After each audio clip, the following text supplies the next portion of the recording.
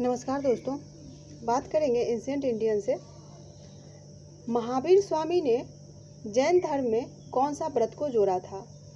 तो इसका उत्तर होगा, महावीर स्वामी ने जैन धर्म में पांचवा व्रत ब्रह्मचर्य को जोड़ा था।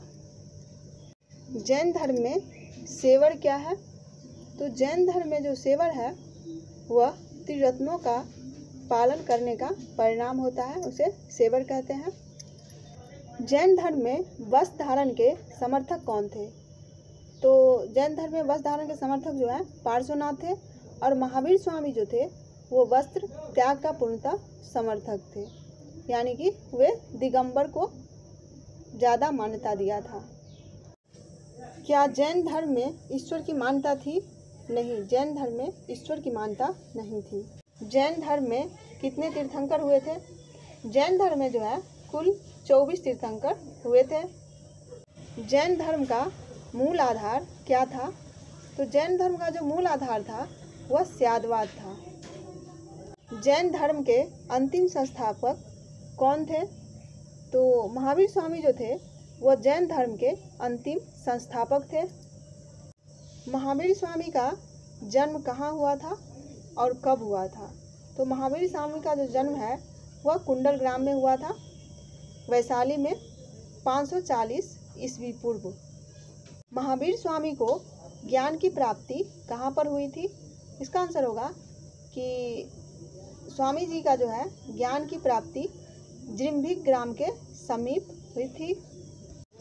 महावीर स्वामी का मृत्यु कब और कहाँ पर हुई थी? तो इनकी मृत्यु जो है, पावापुरी राजगिरी में हुई, चार सौ अड़सठ ईस्वी पूर्व। जैन धर्म का महत्वपूर्ण ग्रंथ कौन सा है? तो कल्पसूत्र जो है, जैन धर्म का महत्वपूर्ण ग्रंथ है। वंशदिश क्या है? तो वंशदिश जो है, वह जैन मठ है। अगला है, प्रथम जैन संगीति कब, कहाँ और किसके शासनकाल में हुई थी? प्रथम जैन संगीति जो है 322 से दो सौ ईस्वी पूर्व में हुई थी। स्थान था पाटलिपुत्र। इसके अध्यक्ष थे स्थूलभद्र और चंद्रगुप्त मौर्य का जो है शासन था। इसमें बारह अंगों का जो है प्रणयन किया गया था। इसमें श्वेतांबर एवं दिगंबर जैन धर्म दो भागों में बट गया था। श्वेतांबर एवं दिगंबर। द्वितीय जैन संगति कहाँ पर हुई थी और कब?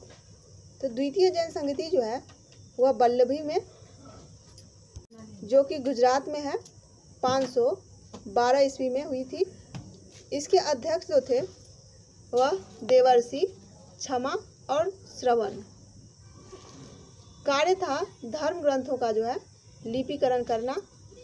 महावीर ने अपना उपदेश किस भाषा में दिया? तो महावीर जो थे, वे अपना उपदेश प्राकृतिक भाषा में अधिकतर दिए थे।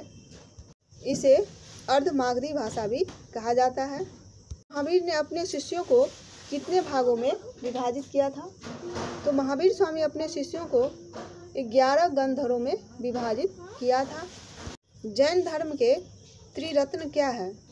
तो जैन धर्म में जो है, त्रिरत्न, सम्यक दर्शन, सम्यक ज्ञान और सम्यक आचरण है। जैन धर्म में पंच महाव्रत क्या है? तो जैन धर्म में जो पंच महाव्रत है, वह अहिंसा सत्यवचन असत्य, अपरिग्रह एवं ब्रह्मचर्य है, जिसमें ब्रह्मचर्य को जो है, महावीर स्वामी ने जोड़ा था।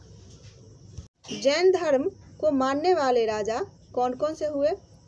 तो इसमें जो है, उदयन, वंद राजा, चंद्रगुप्त मौर्य, कलिंग नरेश खारवेल राष्ट्रकूट राजा, अमोघर, चंदेल शासक, ये प्रमुख हुए।